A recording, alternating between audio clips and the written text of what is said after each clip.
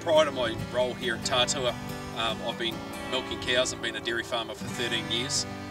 We grew two and a half hectares of fodder beet this year. Um, we decided to put that um, right down the back corner of the farm as we weren't sure how it would actually go in the Waikato. Established that crop at the start of October.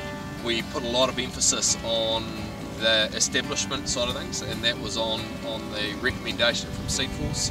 Uh, we had some great support from Seed Force through that period. Uh, every week they were on farm helping us and giving us some guidance and monitoring the crop. Without that support then possibly we may not have achieved what we did. Once we got to establishment and we got to canopy cover, basically this, this crop you can walk away from. You can, you can close the gate, wire it up and it will just keep growing. 6th of March we started grazing that crop. We saw an immediate lift in milk production uh, from cows. We ended up doing the same production in April as we did in March, so we dropped that decline through the drought months. For next year we intend on um, starting to graze that crop early, earlier than March, um, just given the fact that we actually struggled to get through that crop at the end of it.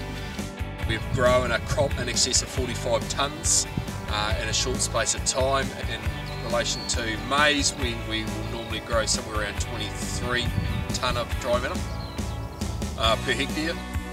So for us, those numbers stack up pretty good. You know, we, we've grown this crop for around three cents, or just under three cents a kg of dry matter at 12 and a half ME.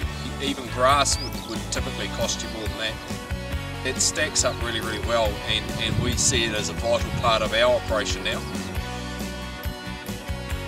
I believe that this fodder beet crop is going to change the face of dairy farming in New Zealand. Um, I, I, I, honestly do believe that there is nothing else better out there and so I'm quite happy to, to, to put my name against it and say that this is a, an unbeatable crop.